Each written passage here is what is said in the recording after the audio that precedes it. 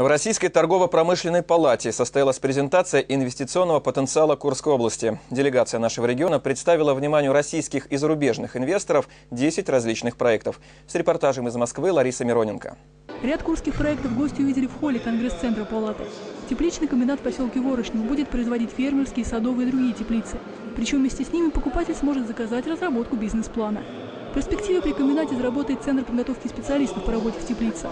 Кроме проектов, на выставке куряне представили свои достижения в ключевых отраслях экономики. Меня твердо укрепило в мысли то, что было презентовано, что потенциал еще больше, чем я даже предполагал. Очень много в заделе, потенциал огромный и по направлению сельского хозяйства, и в промышленности, и в инновациях, и в молодежной среде. Я думаю, что у Курска хорошее будущее. На встрече в кабинете Сергея Катырина, в частности, обсуждалось привлечение инвестиций зарубежных банкиров, которых отметил вице-президент Палаты Александр Захаров, интересует вложения в том числе в коммунальную сферу. Это могут быть проекты по водоснабжению, утилизации отходов, энергосбережению.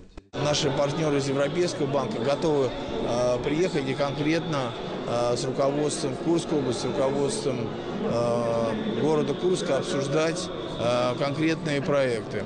Э, есть интерес у целого ряда других финансовых институтов. А наша сейчас главная совместная задача – готовить проекты таким образом, что в них можно было инвестировать. Перспективное поле для вложения капитала – сельское хозяйство и переработка. Олег Терпенко, руководитель Алымского и Теткинского сахзаводов, говорит, их мощности уже не хватает для переработки региональных урожаев свеклы. Поэтому в планах построить в Дмитриевском районе на площадке бывшего Деревинского сахзавода новое предприятие, которое сможет принимать свеклу также из Орловской и Брянской областей. Другой проект «Птицеводческий комплекс в Вершечинском районе» уже близок к завершению.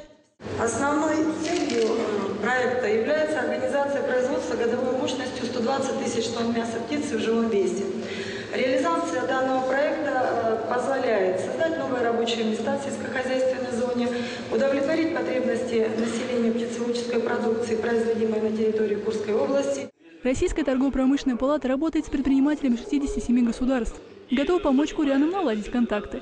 Так, презентацию нашей области увидели бизнесмены и дипломаты из Германии, Италии, Венгрии, Испании, Китая, Японии и других стран.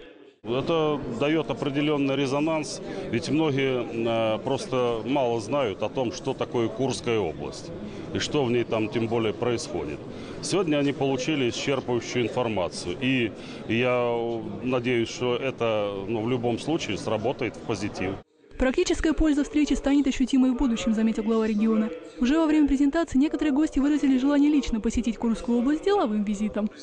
Лариса Мироненко, Роман Леонов, телеканал «Сейм».